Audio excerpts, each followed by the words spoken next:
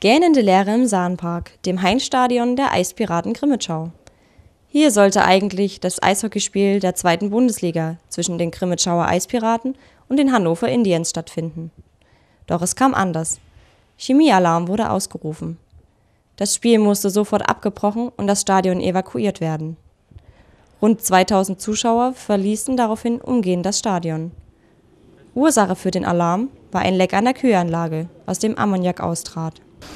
Ja, also wir hatten Ende des ersten Spieldrittels äh, Eishockey-Partie Eispiraten Grimmenschau gegen die Hannover Indians. Hatten wir einen Ammoniak-Austritt im Stadion. Dementsprechend gingen alle notwendigen Alarmvorrichtungen hier im Stadion an. Das Stadion musste evakuiert werden, da ein Ammoniak-Austritt äh, sicherlich nicht ganz ohne ist, auch für die Besucher des Stadions.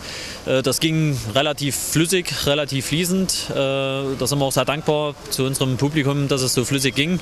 Ähm, ja, das Stadion wurde komplett geräumt, die Feuerwehr ist angerückt und äh, hat entsprechend entsprechend jetzt äh, zumindest erstmal das Leck gefunden, wo der Ammoniak ausgetreten ist, hat dieses verdichtet und äh, zumindest erstmal provisorisch bis morgen so weit abgedichtet, dass hier keine Gefahr mehr droht. Die Grimmitschauer Feuerwehr und weitere Spezialkräfte konnten das Leck an der Einsatzstelle abdichten und damit die Gefahr beseitigen.